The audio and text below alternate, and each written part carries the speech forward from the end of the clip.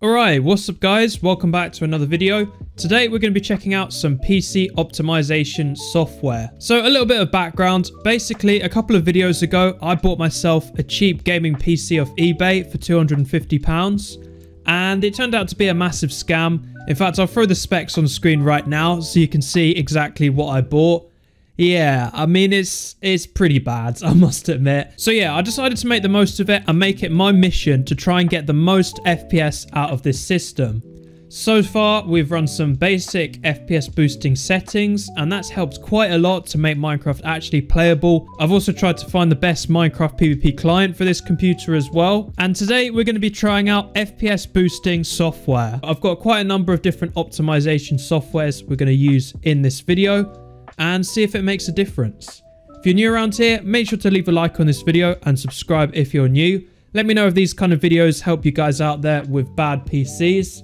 I think I'm probably going to do a couple of upgrades on this computer next. Let me know what you think I should do upgrade wise in the comments down below.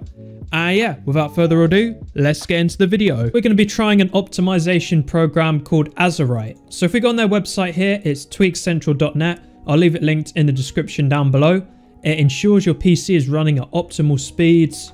Then it goes and explains all their numbers, what it is. Tweak Central actually hit me up and asked me if I wanted to do a video on their program. So we're going to give it a go today. And if you haven't noticed already, we're on my low-end PC right now. So we're going to see if this actually makes a difference in some Minecraft. So I've already gone ahead and downloaded it here. Here it is, Azurite setup. So let's go ahead and install it real quick. So yeah, that was a pretty simple installation here. Let's go ahead and run it. And here it is, Azurite Optimizer. So as it says here, Azurite is a free desktop app designed to optimize Windows and increase FPS and decrease system latency.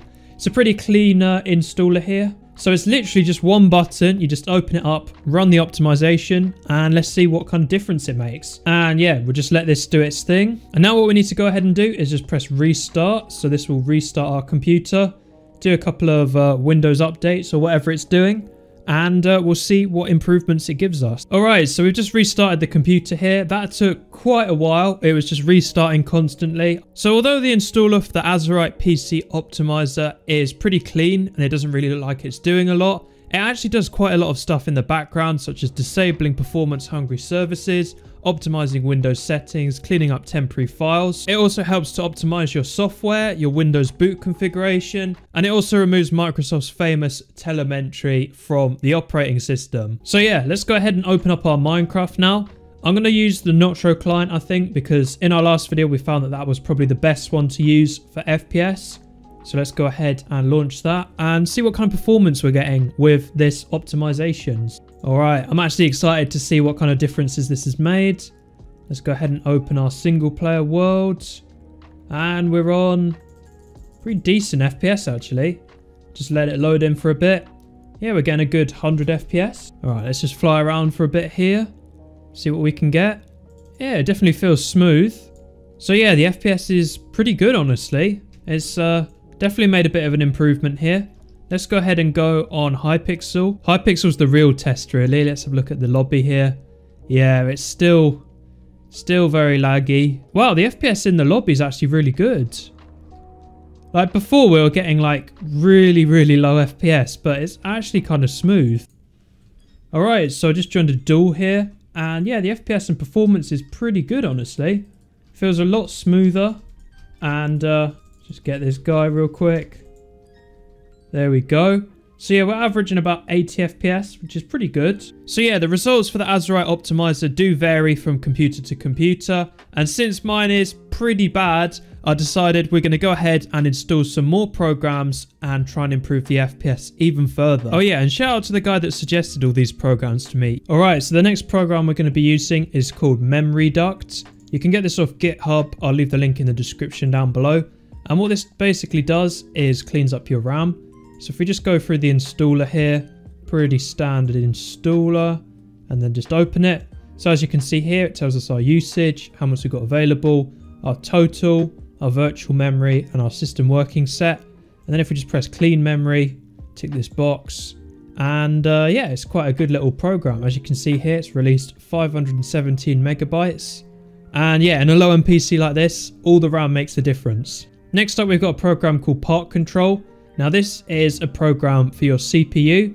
So if we just go ahead and install it all here, install all of that good stuff. And yeah, as you can see here, we've got it on ultimate performance here. Make sure you set it to the highest setting possible. Yours could be high performance, but I've got the option of ultimate. So I'm going to put it on that. And you have to be a little bit careful with some of these settings. Like you probably can blow up your computer doing this. It's not quite like overclocking level. But yeah, it's a good program to improve the performance of your CPU.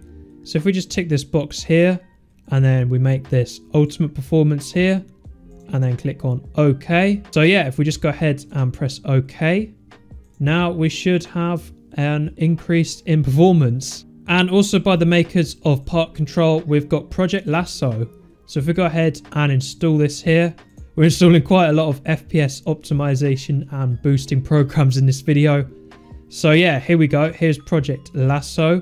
So this is kind of like the Windows Task Manager. It shows you all of the processes and stuff that's going on here. So if we want to go ahead and go into Pro Balance, we can enable that here. Go to our CPU priorities here. And then if we search Minecraft, we should be able to set the priority to high. So yeah, this program's a little bit like the Windows Task Manager, but with a lot more detail and it's a lot better laid out. And the last thing we're going to be checking out is called WiseCare 365. This is kind of like CCleaner. It just gets rid of all the junk and unnecessary stuff on your system. So we just go ahead and install it here. So you want to go ahead and go to System Cleaner here, press Scan. And yeah, like I said, this just gets rid of all of the stuff. In fact, it lists it all here, the kind of stuff that it looks for. It finds issues and just fixes them all. So as you can see, it's found 190 items. Wow. Okay, so if we just go ahead and press clean, there it is. It's done. Pretty good. We've also got a system tune up here, so we can go ahead and press optimize here. And if we go to PC check up here and press on checkup and just let it run through its little thing here. Make sure you close any web browsers if you do run this. And here we go, scan is complete. Just go ahead and fix all our problems here. And yeah, there we go. So uh, let's go ahead and run our Minecraft now. It's to try and sell you something. Let's just close out of that. Let's go ahead and open up our Minecraft now and see if all of these programs here have made a difference. So Azurite made a little bit of a difference. My game definitely felt a lot smoother afterwards. But yeah, let's try and see after doing all of this what kind of difference it's made in game. So if we just fly around here, yeah, we're getting about 60 FPS, just over 60, which is, you know, definitely playable. And before it was kind of fluctuating a little bit. Like sometimes it'd be 100, sometimes it'd be more, sometimes it'd be less. But this is actually quite smooth and it actually feels really playable actually. And well, would you look at that? We're getting 30 FPS in the lobby, which doesn't sound like a lot, but it's actually made quite the difference.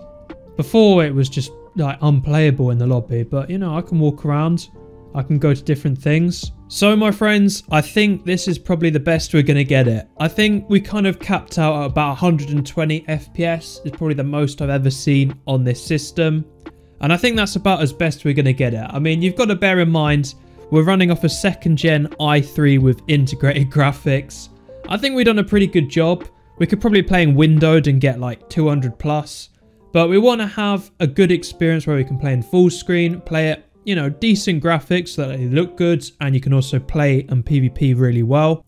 But yeah, obviously optimizing your PC, people are going to have varied results. Like you guys could do what I've done in this video and get really good in FPS improvements. I haven't seen the biggest increase, but it's definitely felt a lot smoother.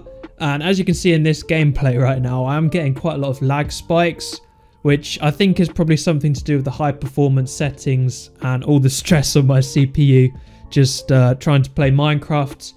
But yeah, Anyway, let me know in the comments down below what kind of upgrades you want me to see do to this PC. I'm also going to try and mess around and install some different operating systems on this computer as well, if you guys want to see that. There's various versions of edited Windows 10, which I might try on this computer, or I might just go straight to Arch Linux. I know a lot of people want me to install Arch on this. So yeah, that's definitely going to be a video that I'm going to be doing. So make sure you guys get subscribed and look out for that. But yeah, that's going to be the video, guys. I hope you guys all enjoy this series and Happy New Year to everyone. I know I've been pretty late on this upload. I was working on it last week, but I got sidetracked. Yeah, thank you guys all for watching and uh, yeah, peace.